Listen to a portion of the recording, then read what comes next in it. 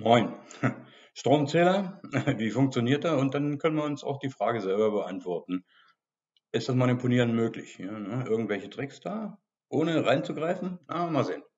Ich hatte ja, ich verweise hier oben nochmal auf dieses Video Wirbelstrombremse, wie das funktioniert. Wirbelstrombremsen gibt es zum Beispiel auch in Stromzählern. Eine Wirbelstrombremse ist in Wikipedia wunderschön erklärt äh, oder an Fragestellen. Ach, das gibt es überall. Äh, diese Stromzähler, die nennen sich auch Ferraris-Zähler. Ferraris-Zähler. Und ich habe da mal ein schönes Prinzipschaltbild rausgesucht. Aber wir gucken uns den ähm, dann auch nochmal von innen an. Ich habe nämlich so einen Ferraris-Zähler hier, ziemlich relativ naja, komplizierter Aufbau, kann man nicht sagen. Wenn man weiß, was es ist, ist es nicht so schlimm. Aber ich gehe dann mal äh, auf dieses Prinzipschaltbild ein, wie das insgesamt funktioniert und dann wissen wir auch, was wir machen können, beziehungsweise wir gucken uns das dann nochmal im, äh, in der Natur an. Also, der Stromlaufplan ist ganz einfach. Ich muss ja messen, wie viel Strom jemand verbraucht. Dafür habe ich eine Stromspule mit einem Stromeisenkern. Demzufolge, damit es gerecht zugeht, PSU mal I, das ist die Leistung, und das mal Zeit, dann habe ich letzten Endes die Arbeit oder die Energie, die ich verballer brauche ich auch eine Spannungsspule, einen Spannungskern. Also ich habe hier einen Kern und hier einen Kern. Die Spannungsspule, die muss parallel angeschlossen sein. Hier geht's rein, hier hinten geht's zum Verbraucher. Also hier keine Verbindung. Ne? Ähm, das Bild, das sagt eigentlich letzten Endes schon fast alles. Ich habe diese beiden Spulen hier und dadurch, dass da Wechselspannung anliegt und Wechselstrom durchfließt, die Stromspule ist im Allgemeinen sehr dick mit wenig Bindungen. Die Spannungsspule hat ganz viele Bindungen, damit sie das äh, ganze System nicht zu sehr belastet, damit der Stromzähler also kein, keine Energie verballert, sinnlos. Und deswegen ist also die Spannungsspule parallel angeschlossen, das ist das blaue, direkt hier mit dem N-Leiter und mit dem L1-Leiter und die Stromspule, da geht der Strom erst durch und geht dann erst zum Verbraucher. Also wie man ein Strommessgerät anschaltet, beziehungsweise wie man Spannungen misst, nämlich parallel zur Spannungsquelle und Ströme in Reihe. So, jetzt haben die beiden, also diese Spule hat eine sehr hohe Induktivität wegen der vielen Windungen und hat gegenüber diesem ähm, Wechselfeld, was ständig erzeugt wird, ist dieses Wechselfeld um rund 90 Grad verschoben. Das erzeugt also letzten Endes, na sagen wir, um 90 Grad verschobene äh, Wechselfelder, Magnetfelder. Und die, die beeinflussen diese Scheibe, die, wir, die hat vorne meistens eine Markierung, ähm, eine farbliche. Und diese Scheibe, die fließt eben, äh, die rollt hier ganz knapp durch diese beiden Elektromagneten durch. Dadurch, dass die aber verschoben sind, erzeugen sie ein vorwärtstreibendes Moment. Und je höher die Spannung, umso besser umso schneller dreht die Scheibe. Aber wenn kein Strom da ist, dreht sich nichts. Von alleine dreht sich nichts. Wenn nur Strom da wäre und keine Spannung, was ja Quatsch ist, das geht eigentlich nicht, würde sich das ganze Ding auch nicht drehen. Jetzt kommt nicht auf die Idee, hier irgendwas äh, abzuklemmen oder andersrum zu klemmen. Das ist äh, verblombt im Allgemeinen, ist auch verboten deswegen. Und man will ja überlegen, ob man den Stromzähler nicht langsamer laufen lassen kann. Wie funktioniert's? Der muss langsamer laufen und das ist einstellbar, nämlich die äh, mit einem Elekt äh, mit einem Permanentmagneten. Der kann nachgestellt werden, was den Abstand und alles solche Dinge angeht.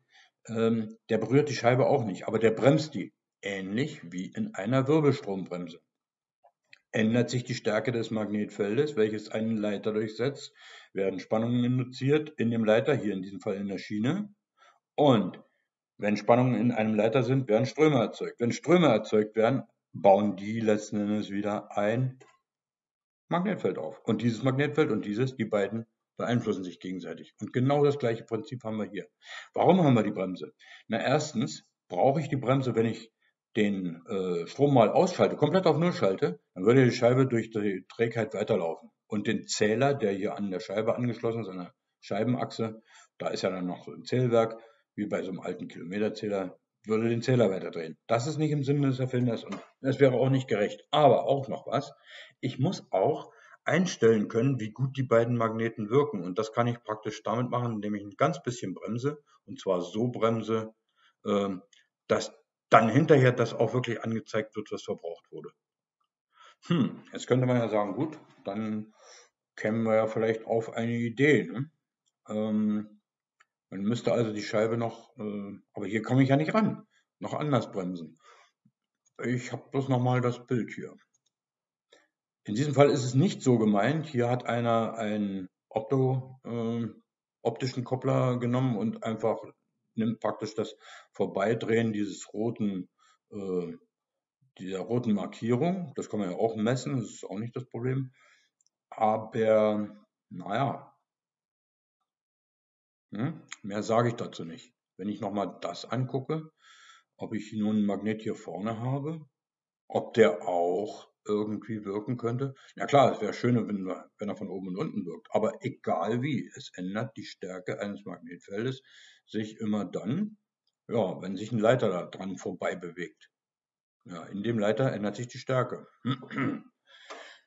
Jetzt habe ich schon sechs Minuten über dieses ganze Thema erzählt. Noch was. Manche sagen, ja, dann lassen wir eben das Ding rückwärts laufen. Jetzt könnte man ja sagen, okay, dann hier ist der Eingang, hier ist der Ausgang, dann werde ich die beiden Drähte vertauschen. Geht nicht, ist verboten, ist sichtbar, würde auffallen. Und meistens kommen Kontrolleure dann, wenn man nicht mehr die Zeit hat, so einen Blödsinn zu ändern und hier vielleicht noch eine neue Blombe anzubringen. Selbst da gibt es Anleitungen, wie man eine Blombe anbringt. Aber das dauert alles. Das ist dann alles ein bisschen schwer. Insofern ist der Betrug auch äh, ist einfach nicht richtig. Und wenn man dann von außen was macht, und dann gibt es noch einen, der hat gesagt, ja, aber. Und eins darf man nicht vergessen, hier haben wir eine Bremse und hier innen drin, das ist jetzt hier nicht äh, der Übersichtlichkeit wegen eingezeichnet, hier drinnen gibt es praktisch so eine Art, naja, äh, Stillstandsmarkierung. Äh, und die Stillstandsmarkierung, ich mache mal kurz Pause, kleinen Moment. Ähm, die Stelle habe ich gesucht, um sicher zu gehen, dass der Zähler steht, wenn keine Wirkleistung gezogen wird, trägt die Achse der Zählscheibe eine Hemmfahne, welche von einem Gegenstück auf den ruhenden Teilen angezogen wird, sodass die Scheibe zum Stillstand kommt, wenn eine bestimmte Mindestleistung unterschritten wird. Und darauf bezieht der sich, der da sagt, man könnte, und ich habe es probiert, ich werde es dann noch gleich im Video zeigen, man könnte mit der Leistung so weit runtergehen, dass praktisch der Zähler doch zum Stillstand käme und dann die Hemmfahne letzten Endes so eine große Kraft hat, dass der Zähler sich nicht steht, beziehungsweise die ganze Geschichte wieder rückwärts gedreht wird. Bloß, wenn ich äh, mit so wenig Leistung rangehe, ja, irgendwoher, ich mache es ja nicht aus Blödsinn, mich mit Strom zu versorgen, äh, dann ist es schon fast sinnlos. Also hier ist dann noch eine Vorrichtung drin, die bremst das Ding gegen, äh, zusätzlich noch und zwar immer so, dass die Hemmfahne an der Stelle äh, wirkt, dass die rote Markierung nach vorne steht. Wenn das nicht der Fall sein sollte, dann sei der Zähler kaputt. Aber ich glaube, bei dem derzeitigen Stromverbrauch, auch wenn man noch so äh, vorsichtig ist, verbrauchen wir so viel Strom, dass immer noch der Zähler ein bisschen dreht. Also das, hier geht es um, naja, vielleicht 12 Watt. Und 12 Watt, ja gut, könnte einer sagen, das ist ja eine Glühbirne, äh, eine LED-Lampe. 12 Watt ist ja schon gut. Ja, stimmt. Bloß dann haben wir noch diesen und jenen, sonst was für kleine Verbraucher. Wir haben ständig irgendwelche Verbräuche. Aber gucken wir uns das Ding jetzt mal in Natura an. Gut, das war's bis dahin. Tschüss, tschüss. Aber jetzt auch zum Natura-Film. So, das Gehäuse habe ich entfernt. Und jetzt schauen wir mal hier rein. Äh, Moment, ich werde mal das Licht anmachen. Wir haben hier unten zwei starke Zugänge. Da fließt viel Strom durch, deswegen sind die so dick. Und man sieht hier auch die beiden Anschlüsse für die Spannungsspule. Also das eine hier, die dicke, das sind die Stromspulen oder die Stromspule.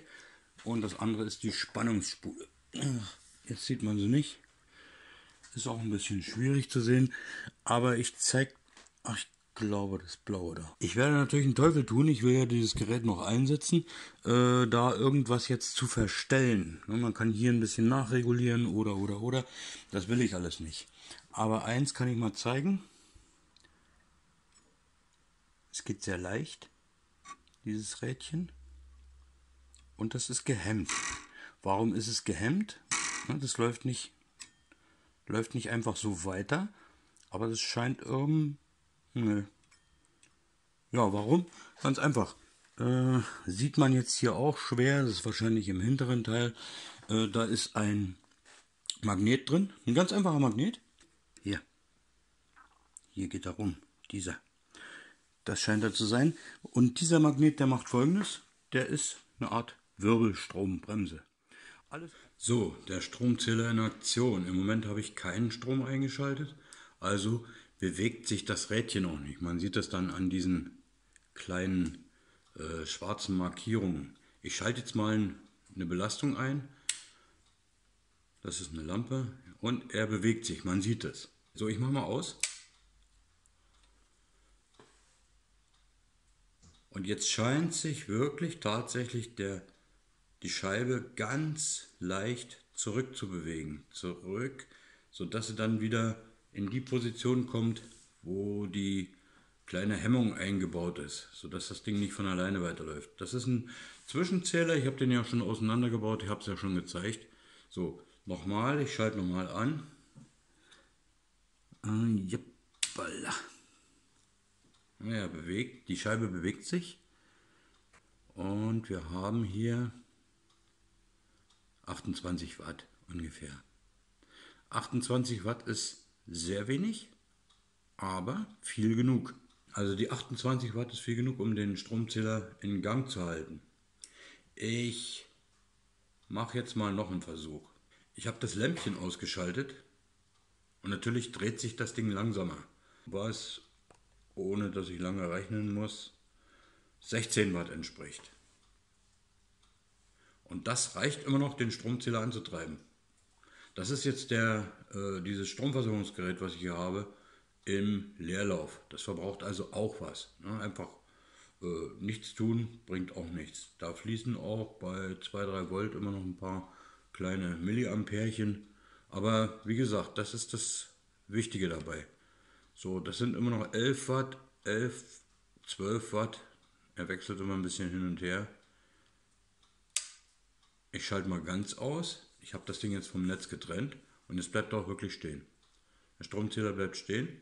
Und er scheint sich ganz leise nach vorne zu bewegen, weil er irgendwie wahrscheinlich in seine Parkposition zurückkommen möchte. Gut, das bis dahin erstmal. Fassen wir also nochmal kurz zusammen. Ja, Manipulationen sind möglich. Hier vorne einen super, super, äh, super starken Magnet anbringen, dann könnte man es vielleicht versuchen. Aber Leute, wisst ihr, was so ein Magnet kostet? Wisst ihr, was das im Vergleich zum Strom ist? Denn wir wissen ja, der Abstand bis zur äh, rotierenden Scheibe ist ja noch durch das Glas gehemmt. Das können wir auch nicht kaputt machen. Also mit anderen Worten, hier geht es um Optik. Was der hier angebracht hat, ist Optik. Aber hier einen Magneten anzukleben, ähm, naja, lassen wir es lieber. Wir müssen ja nicht betrügen. Egal wie die Strompreise sind, egal ob uns jemand betrügt oder sonst was, das hat hier damit nichts zu tun.